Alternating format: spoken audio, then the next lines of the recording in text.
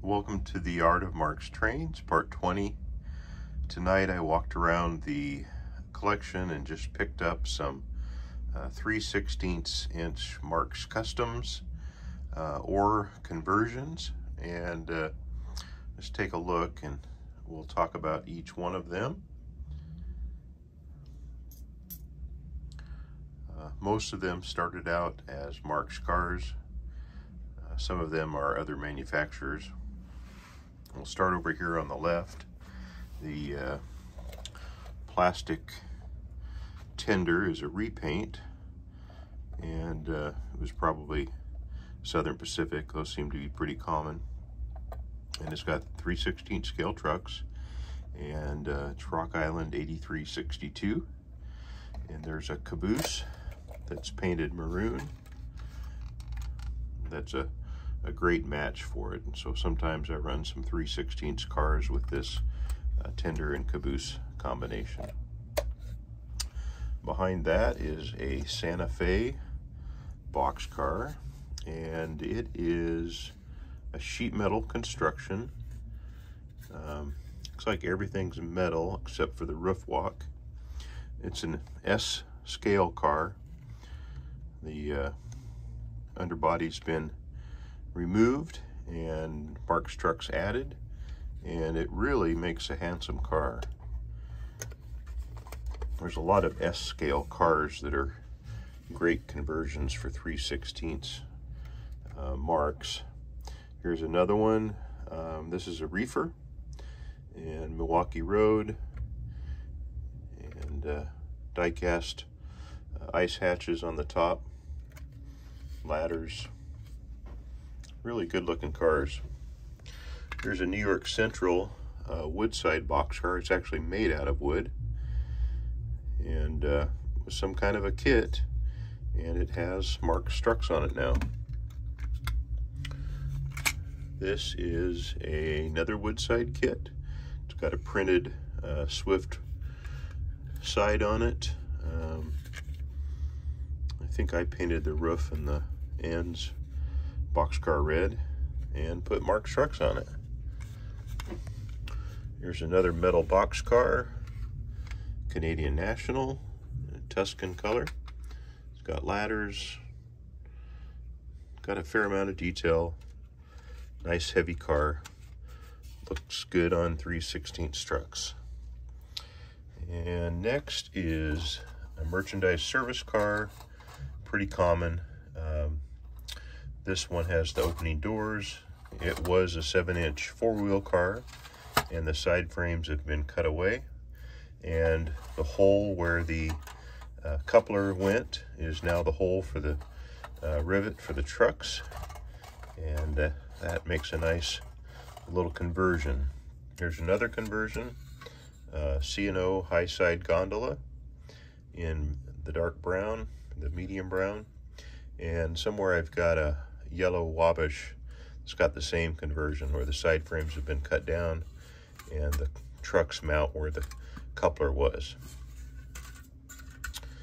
Threw this one in, it's actually a plastic car. It's uh, probably somebody like S Helper uh, it's never been finished. All the details haven't been glued on.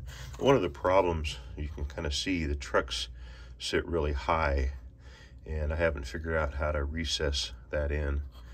Uh, I may end up making this an S scale car and take the trucks off. Uh, the auto loader is actually pretty interesting. Let me make a little room. Be better to have a side view. So this um, is a C&O 3 16 flat car. And what I've done is just create a little wooden platform for, for the second level. And it simply is wedged in. You can see right here, there's a, a little piece of wood that protrudes out and goes into the U channel of the stake. And then there's a, an end that keeps the car from rolling uh, as it's moving along. And then the stakes make stops for the cars. And these are 1960 uh, Ford Starliners. And uh, they look perfect on this car. The size is great. They're 164th. I also use the uh, F&F cars, and uh, they look uh, really good as well. They're plastic, but uh, they're the right size. So an easy conversion, uh, didn't do anything to harm the car, just a wooden platform that wedges into the stakes. All right, next car is a Wabash uh, box car, and uh, I painted this a long time ago with some O scale decals, and I took the color off of the uh, post-war Lionel uh, brakeman car, and uh, I, I, just like it. It's pretty plain. There's no uh, ladders. There's no data for the, the box car, but I like it. Uh, this is another simple one. This is a, a retired LNE hopper, 3 16ths. This is the one with the uh, vertical bar in the end. It's a was a pre-war car. You see the slot in the coupler. Uh, Post-war wheels, but uh, nevertheless, that looks really good, in my opinion. And uh, last on the left side here is a B&O caboose. I threw this in because it's kind of hard to, to find. And uh, I had this one was a four-wheel and the facade trucks were broken on it. So I cut them off and put a conventional 3 16 frame underneath. But I think that makes a really handsome car. Uh, this one Steve Eastman did for me in the uh, kind of the faux wrap um, uh, where you take and print this on paper and then glue it on the side. I'm sure this was a, a Canadian Pacific car at one time. Steve made a lot of these for our grandkids and uh, so it's a special car. This is one I found on eBay. I just thought it was interesting. They made a shell car in a kind of a primer red color. I just kind of like it. Um, here's one that I painted. Um, I'm pretty happy with. SP&S is my favorite railroad and uh, not a lot of detail on it. You know, it's missing the ladders and uh, if I could figure a way to paint those on, I think it would make a really handsome car. I also painted the Great Northern. This is uh, definitely one of my favorites, and uh, I really like how it turned out. I like the uh, matte finish, and I like the decals. Uh, uh, even without the ladders, I think it looks looks really good. Here's another wooden kit uh, with paper sides, pre-printed ginger ale car. It's a reefer. It's got a wood top and wood ice hatches. Um, get a lot of compliments on that car. I threw this Reading caboose in. I'll show you why in just a moment. Um, over here is a Northern Pacific. Uh, it's another car from the Northwest. Being up here in the Northwest, we like to see some of those cars on a railroad. There's another metal reefer. Uh, this one is uh, just like the Milwaukee Road car that I showed earlier. This is kind of a special one. Um, it's not a production car, but this is, somebody made a replica of maybe what was a salesman sample. Um, it's not scale trucks, it's just got the six inch frame with the uh, eight wheel one-way couplers. Um, but they did a really good job on it. Uh, the original has the Marx decal just like that. And uh, it really, they really nailed it. And uh, that's, that's a neat car. I think you've seen this one before. May have shown it on the White Knight uh, video. This is uh, the Turtle Creek Central, Route of the Dashing Turtle uh, decals that were available in Model Railroader and uh, I took an old rusty uh, 3 16 tank car and, and repainted it. A couple of tenders here. Uh, back to the SP and S, the large football logo and the small logo. And uh, what's special about these, I mean, they're repainted, of course. I don't know if you can tell how narrow these are. I narrowed them up to be the same as a uh, 3 16 car. And I took a table saw and ran it right up there on these lines so that didn't didn't lose any rivet detail. And I was able to glue it back together with liquid cement uh, just to show you the difference side by side what a regular slope back tender looks like. Maybe this view would be better